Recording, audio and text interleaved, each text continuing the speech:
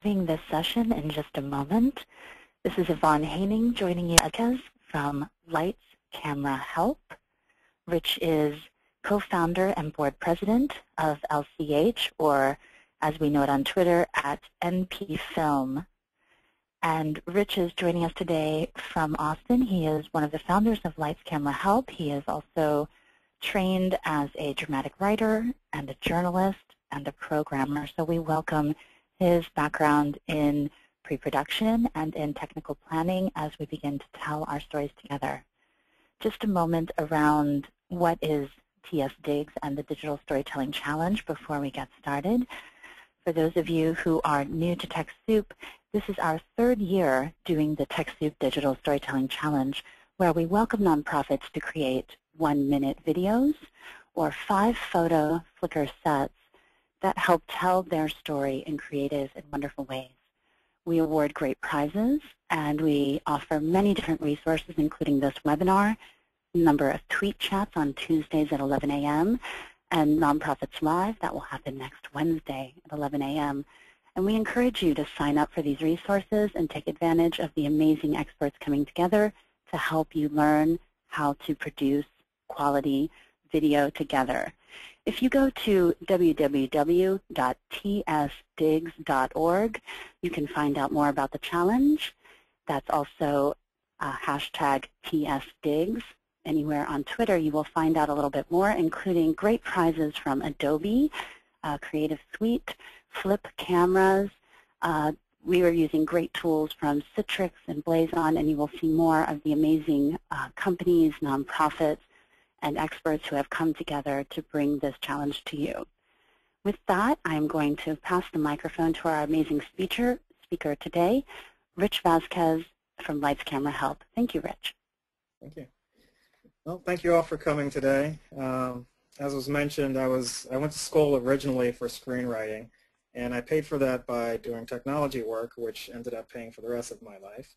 Um, so that keeps me busy, um, but I also work with Cine Las Americas as their webmaster and kind of presenting things online there. Um, for the Austin Film Festival, I read scripts every year for their screenplay competition. And of course, for Lights Camera Help, um, we screen films at our festival annually.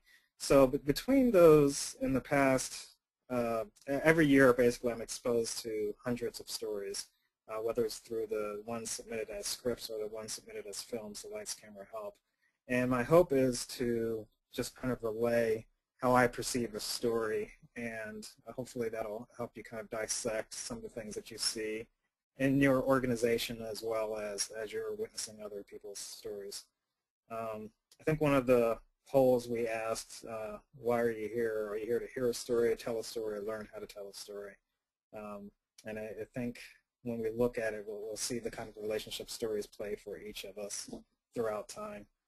Um, so that's the first thing I want to talk about is kind of the theory of story, and then I want to do it more practical to your organization. So how can you look at your organization or your surroundings?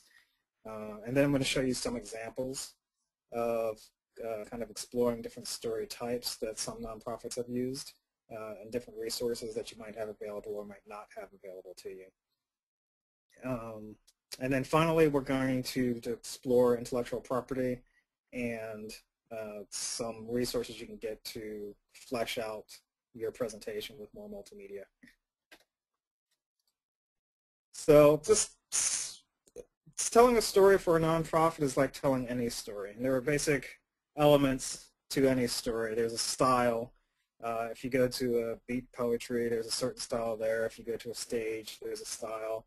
And even within those, um, there are different approaches you can take, and you need to think about, as an organization, how you're going to approach that. Um, and so setting, uh, I've always been a fan, even when I was in film school, of single setting, kind of the Woody Allen, and that's just pure cheapness on my behalf. Um, it helps you to kind of restrict uh, the budget, for one, but it also sets a tone, so you have to be careful of what kind of tone you're setting.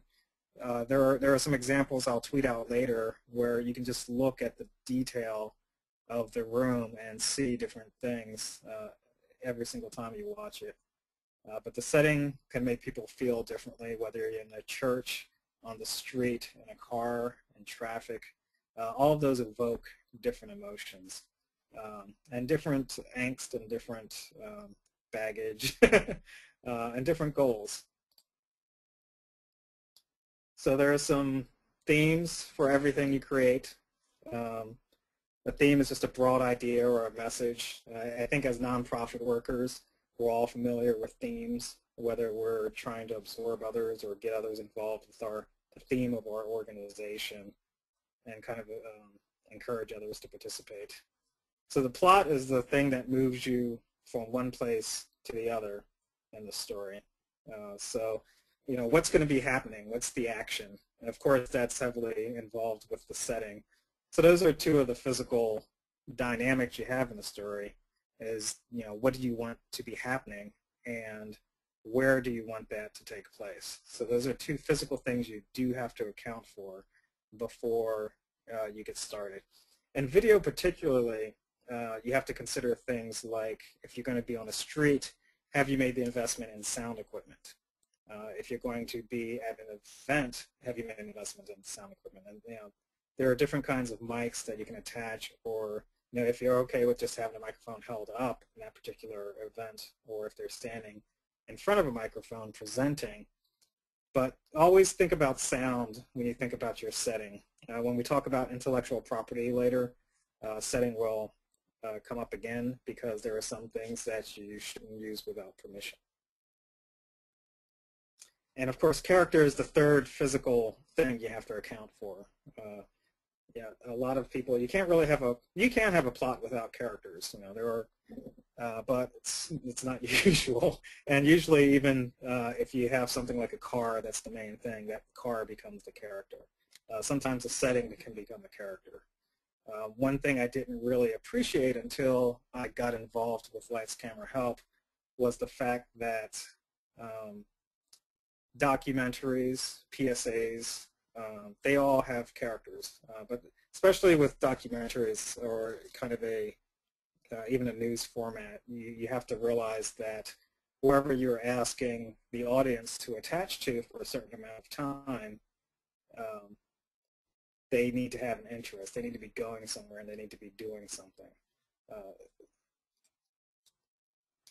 so I want to look at why we tell stories. Uh, in the poll question, uh, I asked to learn more about storytelling or to tell a story. It looks like 82% said to learn more about storytelling. Um, and 17 to tell a story and one to hear a story. And I know the ones who didn't choose to tell a story or to hear a story might wonder why that those would even be in there. Uh, and I, I, always tell people that everybody's telling a story at, at any given moment. Um, so whether you're at work, uh, whether you're with your family, whether you're in public, uh, the way you dress and the way you carry yourself is always, uh, you're always telling a story. You're telling them, I'm here to buy something, don't cheat me. You're telling them, I'm a professional, treat me with respect and listen to what I have to say. Um, so so there, there's a lot of dynamics involved with telling a story. And while this you know, discussion of theory might seem a little broad, it's important to understand because you're you're finding ways and inspecting ways to attach to the audience and to pull them in. So when you look at the diversity of how stories are told, uh, you can you have more resources available to you, and I think you'll start to pay a little bit more attention to some of the potential resources in your everyday activity uh, that are available to tell your story. Um, family. Uh, if you go to some family gatherings, uh, eventually there's the old folks gathering at the table and sometimes the young folks, but you know, we're just basically telling, hey, you remember that time when you were 14 and you went into the woods and you thought there was a bear, but th this recounting, and it's just, it's a, it's a habit that we just do. We just sit around the fireplace and at family reunions or family holidays, we start reminiscing uh, so that's, that's something we just do. We start telling stories as part of uh, family dynamics. Uh, to keep memory alive, uh, there are some epic poems uh, out there. I think that's also attached to the family, but also just other elements in life. But people tell stories to be remembered, to remember things, and to keep a relationship tangible, and to kind of keep that string between people alive. Uh, history is along the same lines as all of those three. Um, I remember there was some uh, Scotsman visiting uh, a couple of years ago, and sure enough, one o'clock in the morning, drinking scotch, uh, they start singing and citing epic poems about the history, and but they all had it memorized, and they were all expecting it, and that history won't be forgotten. Um, morality. There was a recent debate on. I'll try to send this link out later, but it was on Slate uh, they were complaining about the Puritan ethic of having to learn something uh, when you tell a story. Um, but the fact is, is that it's heavily embedded in our culture. When you get to the end of the story, you ask the question, what did you learn? Um, not all stories necessarily have that, but it is a common, especially in our uh, American culture, it's, it's a common approach to stories. And I think in most cultures, it's there at some level, at least. Religion is another one. Uh, we have our standard religious uh, stories that we believe, and then we have, most religions tend to have like a secondary set, such as parables, uh, or a collection of uh, histories around the religion. Uh, the final one is entertainment. And of course, that's, that's the fun one. Those are the blockbusters. Uh, every, it makes news when a documentary becomes a blockbuster. and that tells you how um, how common that is. It's not very common. Um, so entertainment we use to escape, uh, we, uh, whether it's from the day, uh, sometimes in such as horror films or adventure stories, you're escaping from the situation that you just got yourself into. So one of the great things or one uh, about that type of story is that the audience is attached to someone, they're attached to a situation, um, and they go along for the ride because they know at the end they're going to escape. Um, the sensibilities of American audiences always say that they will definitely get out of the situation. Uh, in some other countries, it's very common for films not to end so gracefully. Um, so that's something you need to look at when you're talking about who you're telling a story to. You can think about all of these things. If it's about the family, what does that target audience uh, think about family? Um, how, how, do they view their history? Uh, is there anything in your film that might affect or maybe misrepresent or raise a trigger on something?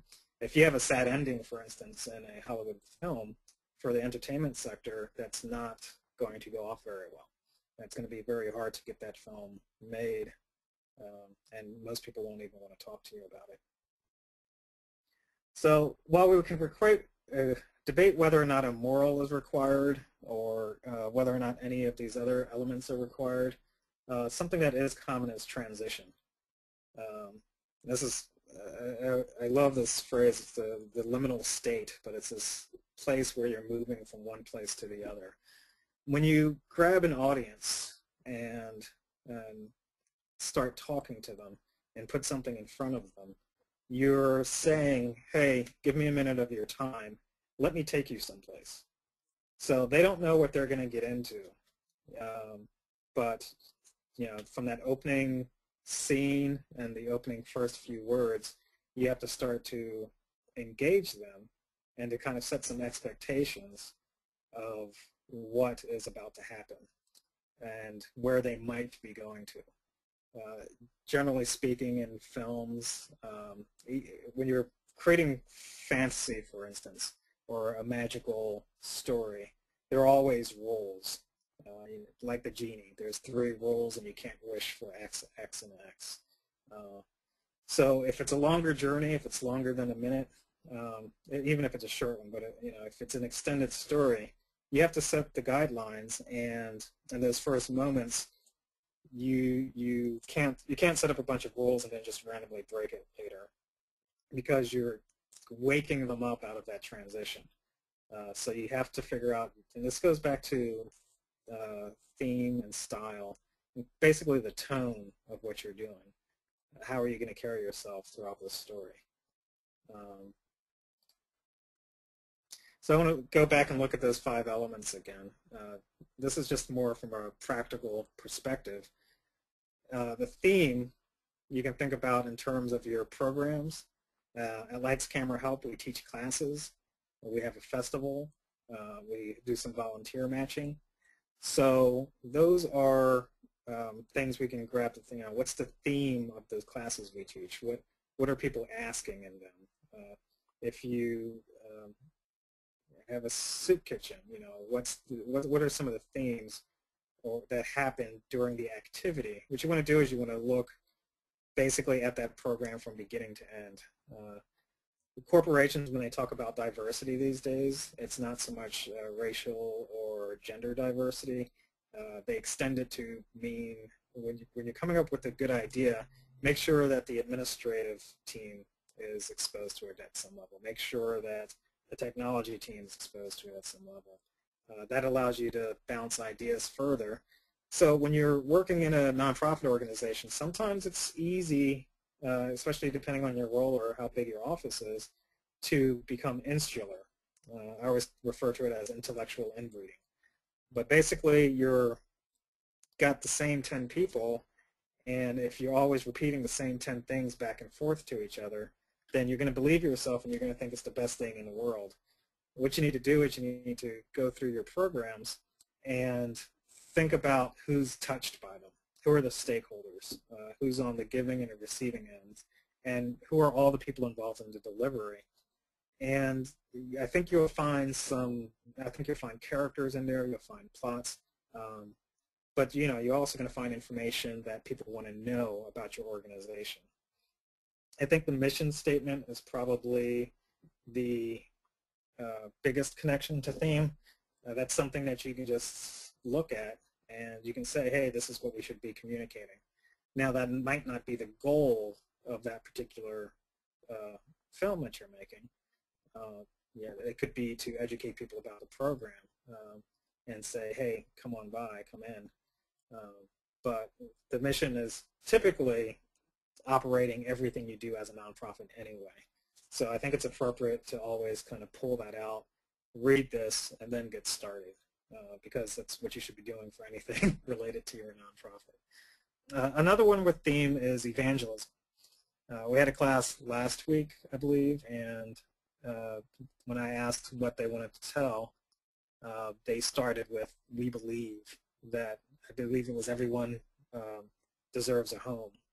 Uh, we believe everyone has act we should have access to good health care. We believe that all children should be safe. We believe that all women should be safe. We believe that all men should be safe. But um, we believe that technology should be approachable by all people. So, you know, that's more of a broad approach, and it's a it sets a different um, it sets a different road for you to go down as far as creating your film. So I think looking at these three things when you're trying to discuss your theme with what you're going to do um, is a good thing. So there, as far as plot goes, um, this is this is the transition moment. Uh, when I find you, you're on this side of the road. When I'm leaving the audience, I'm going to leave them on the other side of the road, and something will has, have happened in between. Uh, you have the option between creating a short uh, moment for that person I'm a huge fan of short stories. Uh, Garcia Marquez, I, for some reason I just can't read his long works, uh, so I went and I got a bunch of his short stories, and you know, I love that. Um, and of course, you know, there's a long option, so you know, all of that relates to budget, of course, and the investment of all of the stakeholders and participants. Um, there's the documentary uh, format, both short and long. Uh, the PSA is interesting because I used to complain that we didn't get a lot of narratives, and I had to backtrack on that. And by narrative and the film festival and uh, I think film and even uh, literature community, it's often basically just what you would think of as fiction. Uh, so the fact is, is that there are a lot of PSAs out there that make up a story and tell you the story and show someone on the screen uh, going through something, uh, performing something, succeeding, over something. Uh, so all of that, all of that is creating fiction. Um, and so I'm a big fan of narratives. I think it kind of makes you hunker down a little bit more for creativity. Uh, but you know, sometimes the documentary format of just recording what you have accessible to you is very worthwhile, um, especially to get started. And if your primary goal is to get the story out, you need to first look at your resources and what you have to work with. And of course, with all of that, there's a call to action. Um, the, the point of telling your story is to not only move your character from one point to the other, but to also move the audience. So this is where you need to think about, um, you know, where do we want to move the audience to? Is it to their pockets? Is it to the volunteering station? Um, but keep keep the call to action in mind. And it's there's never any excuse to. I can't think of a single reason why you wouldn't end with at least a, a slide or an image of what someone can do to help your organization. Now, as far as style goes, uh, I don't know if any of you have seen the charity water videos, but you know, go to YouTube, look for charity water. Uh, I would put those under the rockin' category as far as the style goes. They're very fast-paced. Um, uh, they're very musical. They've got a great rhythm going. Um, shocking. Our first year, we had two animal rights groups, um, or yeah, animal rights uh, films showing. One was, I believe, called Fowl, and it was about the chicken and egg industry. I still feel guilty when I eat eggs to this day. Um, it was a very graphic film. Uh, it was it's very impactful. Uh, it's something I'll never forget for sure. And we literally had people crying in the audience. At the same time, we had uh, a film about puppy mills, and they took a serious approach. Um, I think instead of shocking, they had they would be under the hope category. So from their perspective, they probably saw uh, puppies being in very poor conditions, but in thinking about how they're going to relate to their partners, how they're going to relate to their donors, and how they're going to move the audience, the two organizations with the same goal took two different approaches. Uh, one was to shock the audience and say, oh my God, this has to stop now. Uh, let me do something about it. Uh, it's, just wrong, period. And it was a huge moral statement. Um, the, the other organization didn't even show where the puppies were kept. So they really didn't go into that. And I didn't ask them, but thinking back at it, when I, when I mentioned partners earlier, you have to consider that in order to fulfill your mission, sometimes you're teaming up, I guess you might call them the competition, um, but they might have a deal with the puppy mills uh, to arrange adoption at a certain point. So in that case, you can't really go for shock. You can't go into their facilities and say, hey, look at this evil man. You have to work with them. So really the story picked up um, after the puppies were picked up. So, and they did describe some of the problems of the puppy mills. They didn't just whitewash it, uh, but they also didn't go inside and do an expose. So, you know, you need to think about relationships as you're thinking about your style. You need to think about who you're reaching out to. You know, will the charity water videos with a lot of driving music and rhythm and flashing images uh, affect a 70-year-old as much as a 25-year-old? Probably not. Um, is that their audience? Uh, is it going to affect who they're really targeting? Probably not. So, you know, it's okay to be shocking, to be rocking, to have hope. Um, uh, and the other two, of course, are funny and serious. So what tone are you going to take? There are some things that some people just aren't ready to laugh at yet. And while comedians like to say, hey, that's what comedy is, um, that's you know you you have, you have to consider something different. You can't just hold up comedy uh, for the sake of comedy and hope it won't splash back on your organization. Uh, you're you're building relationships through your story. You're sustaining relationships through your story, and you're extending your organization.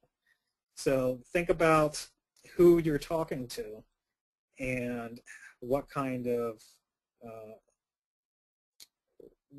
what kind of reaction they might have to the style you're taking, uh, because it's very easy for that to splash back quite accidentally.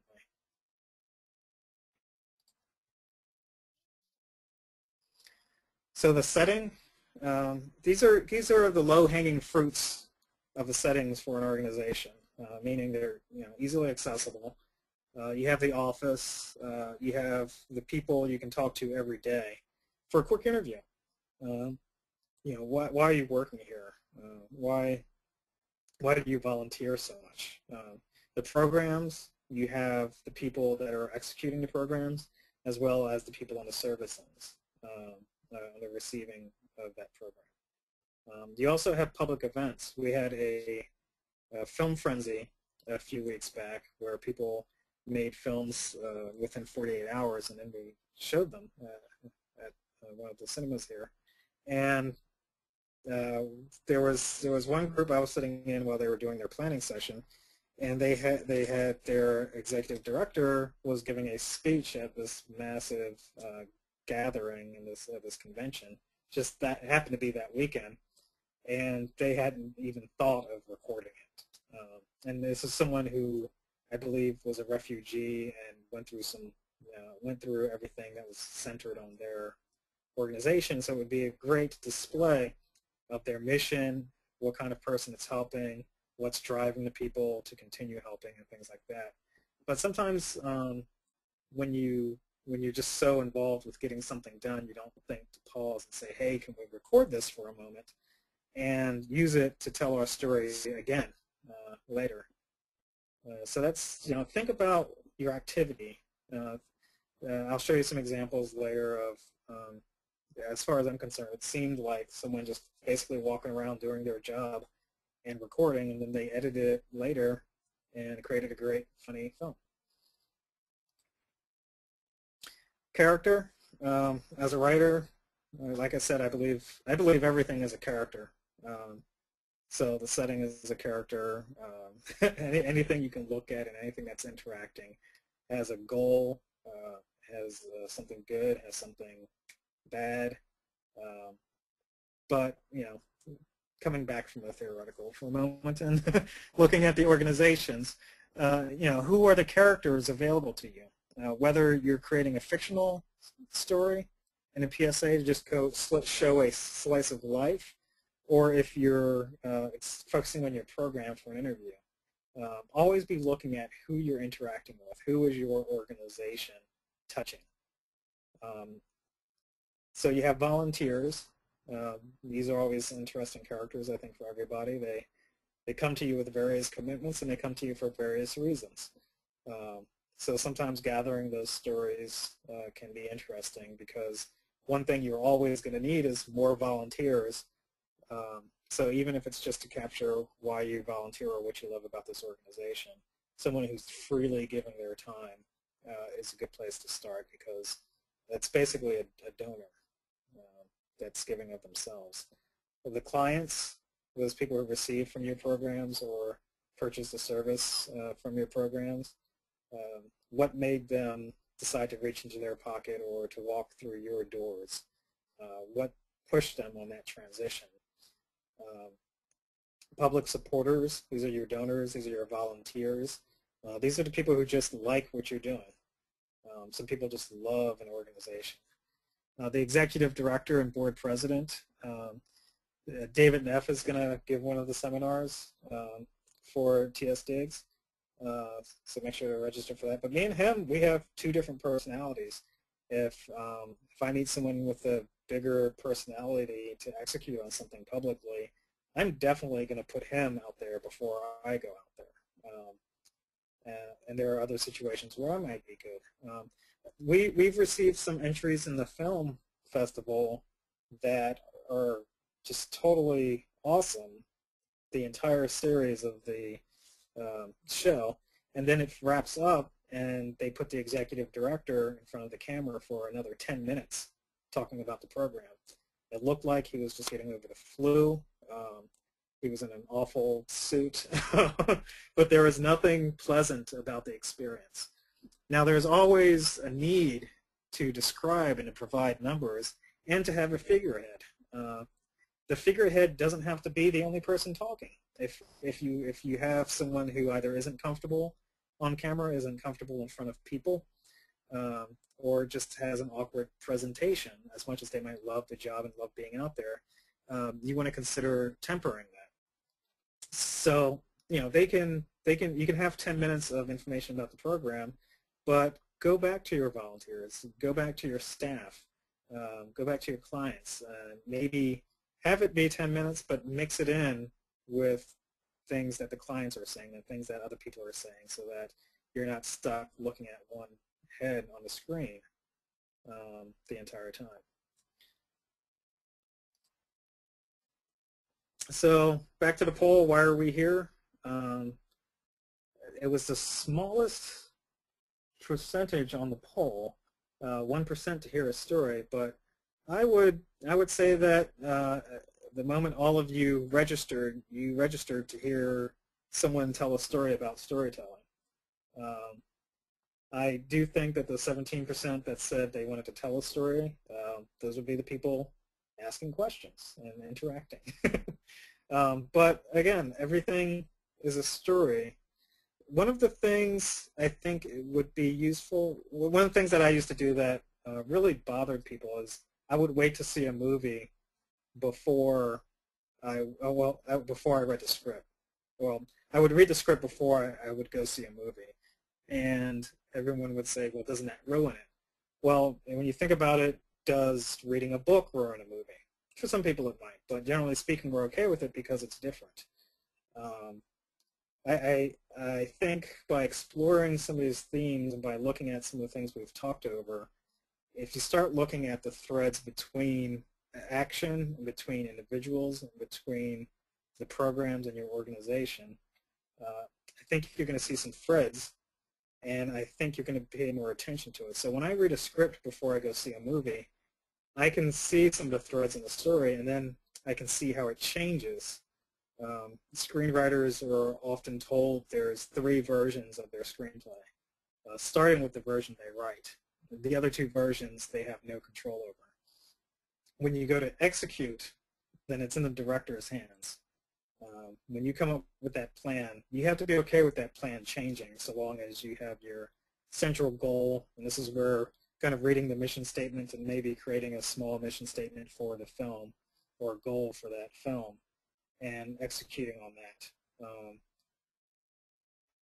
but looking at all of those threads, you know, it, will help you. It, it, be, it seems a little bit tedious, uh, and for some people it might be, but paying attention to all those threads will really help your organization.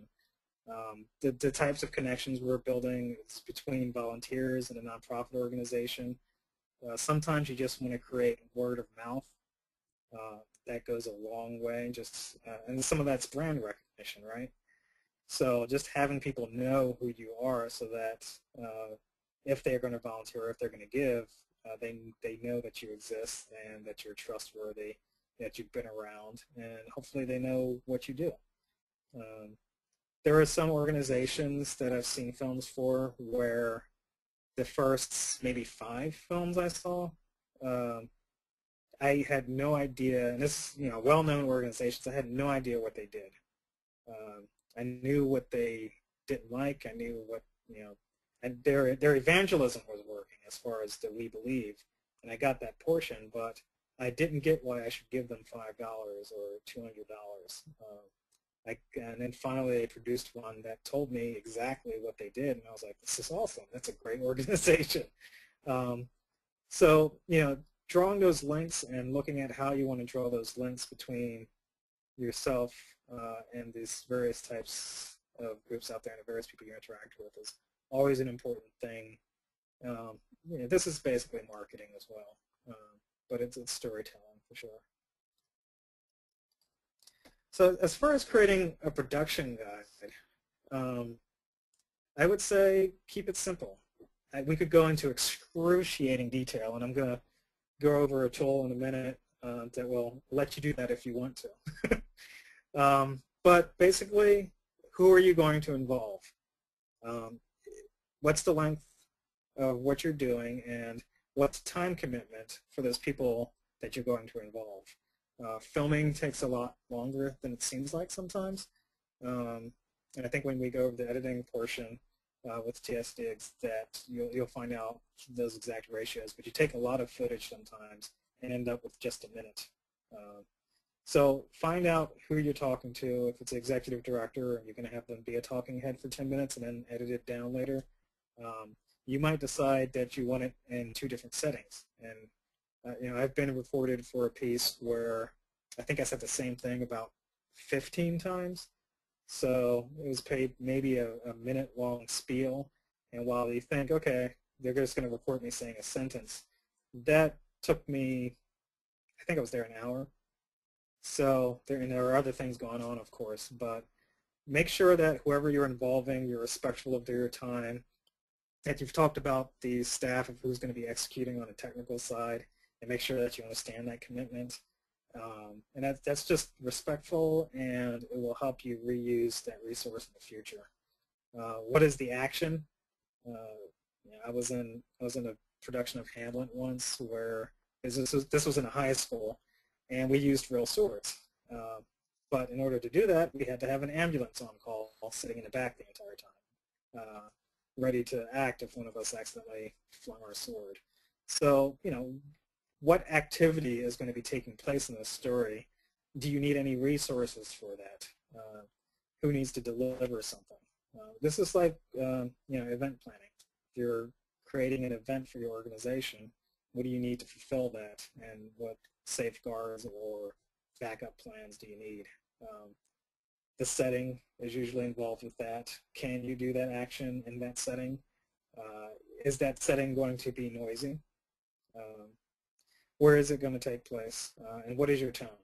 So if you're going to be excitable, uh, I know I, it's not uncommon for a you know bank robber or something like that scene to be filmed by a student and for the cops to interrupt because they didn't know what was happening.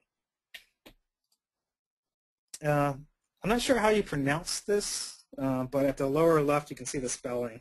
Uh, I always say uh, Celtics, um, but it's C-E-L-T-X. Um, and but look at this to um, to do a production catalog if you want. It's for script writing. I would not get bogged down, um, but it has a lot of tools in it and it's freely available. Uh, but remember that toys can be evil, um, so it can just take you down um, down a rabbit hole and you won't even finish the project. So just remember who, what, where, and when uh, scale to the project, um, but always keep it simple. Um, Thank you, Rich. That's a fantastic way to start. Uh, we have some great questions coming in, and I would love to be able to take a moment to, uh, first off, honor our guests for giving us some interesting questions around how to do things simple and effective and low cost, especially for nonprofits, how to be as resourceful as possible. Uh, we've had questions coming in around budgeting and how to resource low-cost software. Uh, it sounds like the tool you just described is really available. Um. And we will also uh, make available links to a handful of tools that you can get through TechSoup, uh, from flipcams to software that can help make that available uh, for you at low cost. Uh, for those of you, we've had questions coming in around how can we uh, make these processes participatory with uh, money-poor communities. And I feel like there are many different opportunities in this community to make use of the resources available to us. So as we're looking at examples, we're looking at intellectual property in the second half of this hour. I would love to hear your ideas on how to do it effectively, do it efficiently, and not spend a lot of money in the process. So as far as budgeting, I'm always a fan of um, I'm always a fan of starting at the resources you have. Uh, the example of when someone was giving a speech and they didn't think to record it. Uh, I'm involved with one film festival who has a lot of directors comes in come in and they never record uh, the conversations that they're having anyway or the panels that they're having anyway. Um, something like a flip cam goes a long way. Um, there's a, I'm going to, we're probably going to have to skip through some of the examples I have, but the Big Cat Sounds, I'll send out a link on Twitter for this later. But in this situation, this person just walked through their sanctuary and recorded what was happening. So, and it was a funny, it's a great film, and it was very effective. But involving those people who are already there and trying to get those mundane things that you might be overlooking, um, I think is the best way. Um, check out your public access channel nearby. We have a great one in Austin um, where you can get resources, uh, some technical resources for sound and cameras very effectively. Um, but basically keeping it simple and looking at your existing resources. Right. So it sounds like you're also empowering some of your volunteers and field staff to get out with their mobile devices or whatever HD camera that they can come across. Are there specific uh, low-cost tools that you recommend in your workshops? Um, there are some websites that I can go through for getting images and getting sounds and getting some video. Um, there, there are several of those I can go through. Um, I believe there's a there's a Kodak. Um, David actually knows more about the specific technology uh, for actual production. Um, so I, I, think it would and, be worthwhile. Mm -hmm. We can also include the link to Celtx as well. So we've had a few questions coming in about Celtx and where to find that. So that sounds like a great follow-up so we can look at some of those links together after this webinar as well. Same with some of the videos. Uh, you've been showing some great screenshots from videos, and it's uh, great to go back and watch and see those cats in action. So yeah. uh, we have a couple more questions. Uh, we have one around, are there guidelines? Uh, this is from Lydia Johnson. Are there guidelines for how many scenes, characters, or settings are appropriate for a one-minute film? Um, I don't think so. You just have to make sure, this goes back to who your audience is. If you're hitting a bunch of 70-year-olds, uh, you don't want to change your scene every couple of seconds. Do realize that the more you change, remember what I said about uh, doing a one-minute line and being there an hour. Uh, just because it's a one-minute film, if you have 10 scenes, uh, I would put aside at least 10 hours, for instance, uh, just to record those. So that's that's something you have to consider. Um, but um, yeah, I mean, just just consider your time commitment primarily and the attention span of your audience and what they're willing to go through. Something like Charity Water is, is very driving, very fast, um, and it's very effective. Um, but there are also ones that are just quiet. It really is going to affect your tone. Right. It also affects the budget and the amount of time and the number of people that need to come together in order to make it effective. So it depends on what resources you have on hand. Right. Uh, we also have people asking about, uh, for the TechSoup Digital Storytelling Challenge, if we take uh, entries from Animoto for a cause. Uh, Animoto is a great way to bring in photos and bring them into a story that can be shared quickly and easily. Um, in my experience, an Animoto video uh, doesn't take but a few hours at most. Uh, so we do welcome those entries. Uh, you can do a five-photo set uh, via Flickr.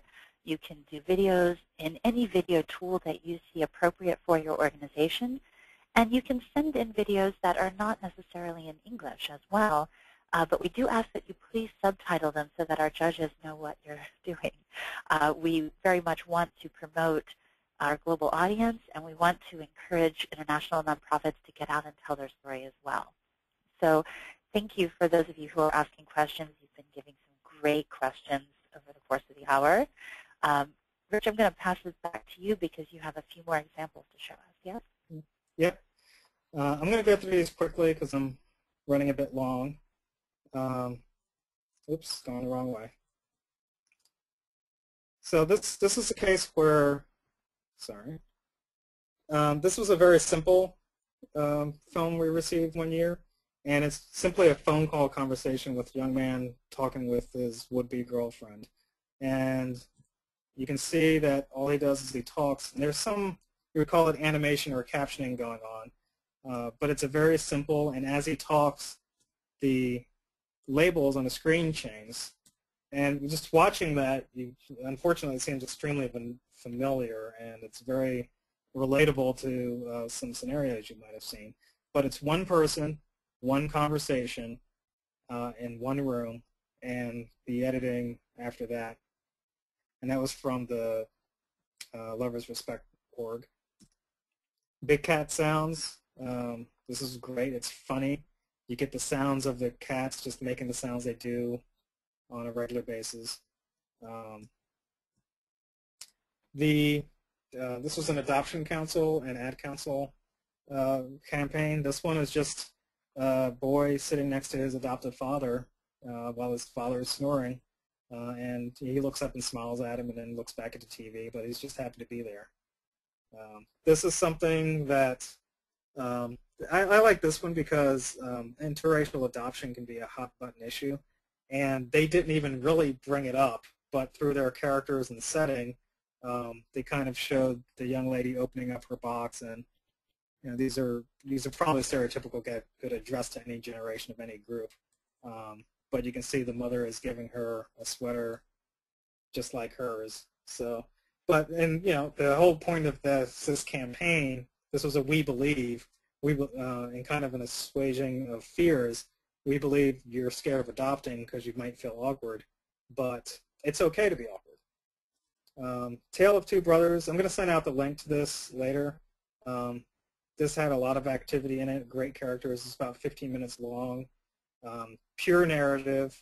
Um, had some ugly moments.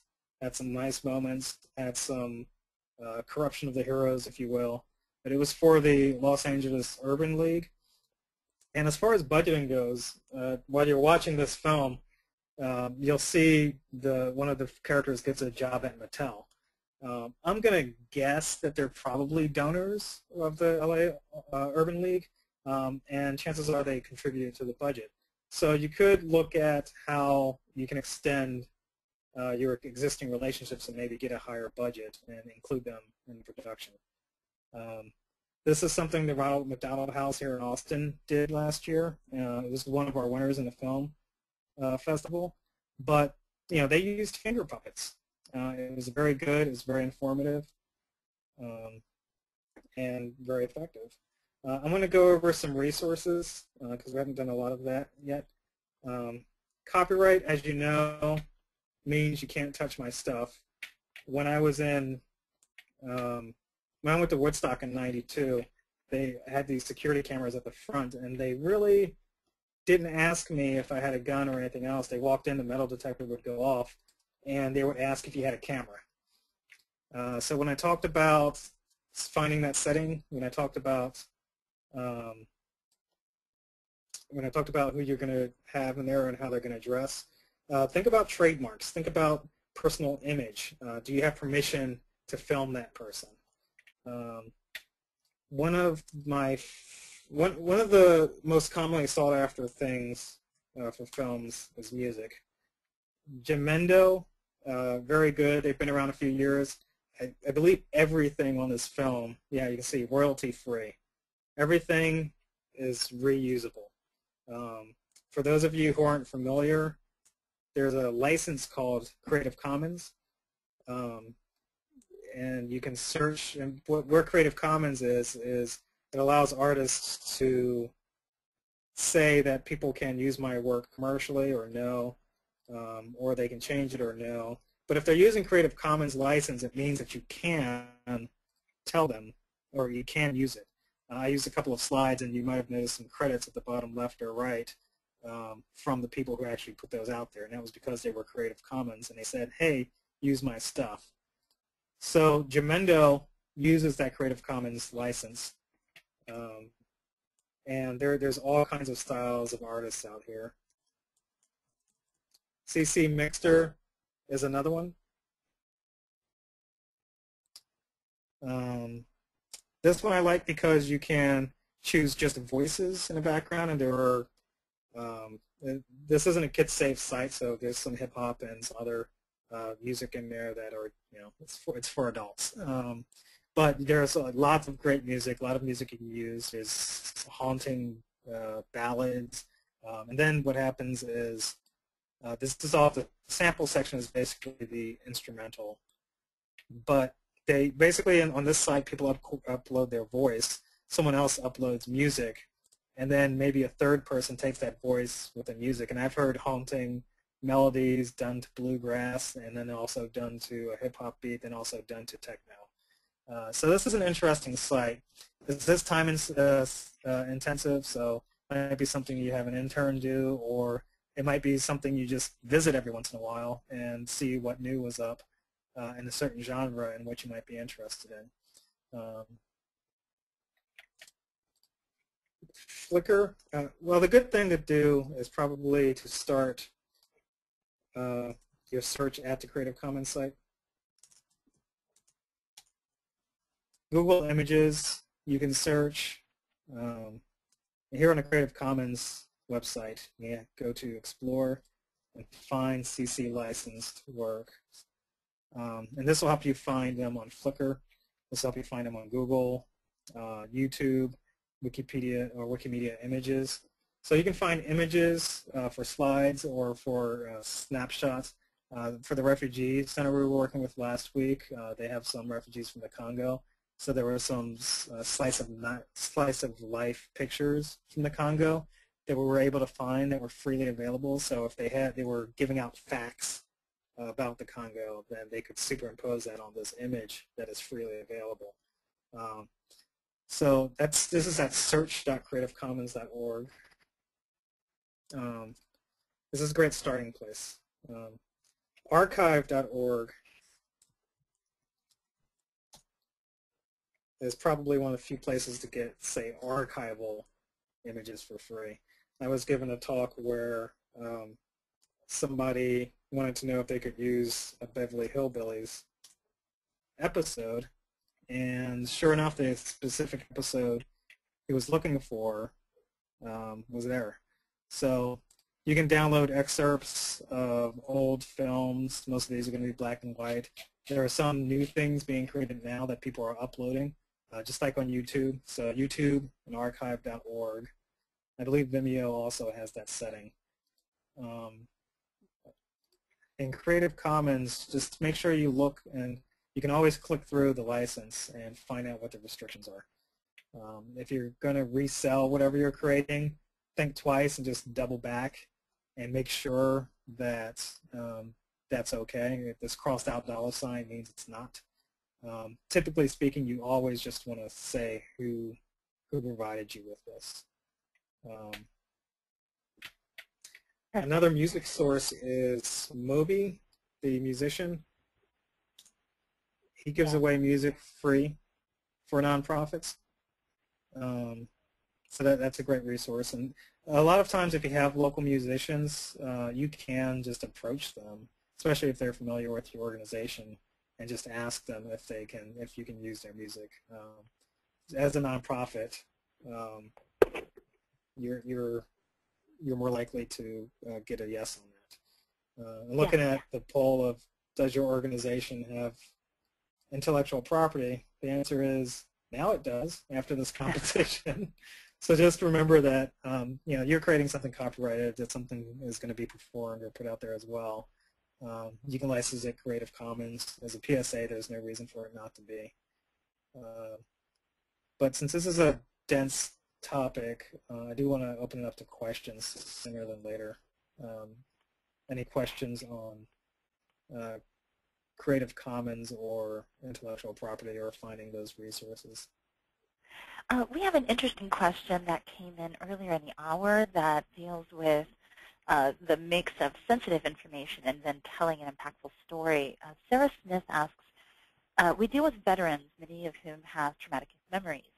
How do we draw the line between respecting privacy and the need to tell the story of veterans and their families who are feeling isolated? Uh, you trailed off on the end there. Sorry. Oh, I'm sorry. How do we draw the line between respecting privacy and the need to tell the stories of these veterans and their families who are feeling isolated in their communities? Um, an approach which might not be always effective, you have to do it very carefully, is um, fictionalizing or merging characters and coming up with a, a fictional uh, representation of that based on reality. Um, it is a very difficult thing to do. Um, some of the uh, women resources uh, organizations uh, do a lot of interviews with shaded faces or someone off to the side. Um, there, there are some things you can do with a shot to um, handle that, but yeah. the, the or show hands or show um, hands can be a very personal thing, but aren't necessarily as revealing versus Right. the face. And I would encourage you, if you're doing that type of uh, situation, is to look at the StoryCorps project. Um, they have great interview packets and kind of formats for kind of soliciting that type of story from somebody. Um, privacy comes down to the individual choice, so you really just have to work directly with that individual if you're going to get their story. Um, Right. And you made a very important note about releases, and there are release forms available on the web. Uh, we will try and put those also in our forums, and that will be a place where you want to make sure that you let people know how their video may be used later, if it's going to be put on YouTube, if it's going to be shared publicly. Please let people know as you're capturing them so that uh, there is a clear line of respect all the way through the story. right. Um, and you can, we, You can Yes. have a public sign saying for events saying this is being recorded, but if you have a sensitive population, you just don't want to do that really because you you're building a relationship with those people and trying to sustain that. Yes. Um, we've had some great questions coming in, and we're going to need to wrap up fairly shortly, but we want to take a bit more of the practical how-tos. We've had a number of people asking about low-cost tools and resources, and we will be providing links to many of those over the course of the month, um, including links to our forums where you can get questions answered about low-cost editing tools or sound production tools. Um, if you are looking for discounted and donated products from TechSoup, you can do a search through TechSoup.org. Um, there are many tools for professional sound, professional video editing, and professional capture within the catalog there. So if you are a TechSoup member, we encourage you to go ahead and request product. If you are not a TechSoup member, please go ahead and sign up to be a member as a nonprofit organization. You have access to many, many resources. Uh, I did just sorry, I, I showed on my screen real quick Audacity. Uh, that's a free Yeah. sound editing. Uh, the professional tools that TechSoup has available are really great. So while some free tools might be good to get started, you definitely want to try to invest when you can because those those resources do take you up another level. Right, and you may want to choose to invest in a microphone uh, while using something like your smartphone. Uh, you can use your existing resources, especially if you can get a high-quality capture using something you have, uh, just by adding a piece. It doesn't necessarily need to be that you have to buy a whole uh, production suite in order to make a video. So we are going to be wrapping up, and I want to invite the rest of you who've been asking questions. We are going to do our best to get to as many of your questions on the TechSoup forums um, and also in the upcoming webinars. We have two webinars coming up. Next week, as uh, Rich mentioned earlier, his colleague David is hopping on to talk about production, and we will get more into these nuts and bolts and which programs to use and how to do it and how to make it look great. Uh, the following week, uh, that will be, I believe, the 16th, uh, if I remember correctly, will be with Aaron, and Aaron will be talking about post-production, and we will talk more about sharing and distribution. Uh, for those of you who missed the beginning of the hour, we are hosting a month-long digital storytelling challenge here with TechSoup. You can find out more information at www.tsdigs.org. And this challenge is powered by Lights Camera Help. So we have had Rich Vasquez, one of the founders and board members of LCH, Lights Camera Help, uh, and that's available at lightscamerahelp.org or at NPFilm. Uh, if you're interested in more information on their film festival that they provide uh, that happens in Texas every year, it sounds great. It sounds like you've seen a lot of amazing, impactful stories. Uh, we encourage all of you to go ahead and hop on our tweet chats, hop on our webinars, use the forums over the course of the month to get your questions answered. We do encourage you to enter the challenge in the month of February. You can enter a five-photo Flickr set, or you can enter a one-minute video. That can be produced in any tool that you see fit, Um, and you'll see the entry form on our website at www.tsdigs.org, uh, or you can find it through TechSoup, and you can find it through our friends at Lights Camera Help. Rich, thank you so much for joining us today. Thank you. It's been great having you here. We look forward to uh, having time with Dave and Aaron from Lights Camera Help in the following weeks. We encourage you to go ahead and RSVP for these webinars through the TS Digs website, share it with friends, tweet it out, let other nonprofits know around the world that we welcome them to enter because we would love to see you empowered with prizes and production tools and resources to make your dreams come true. From all of us at TechSoup, this is Yvonne Haining, producing with Kyla Hunt at the TechSoup office in San Francisco. Thank you and have a great day.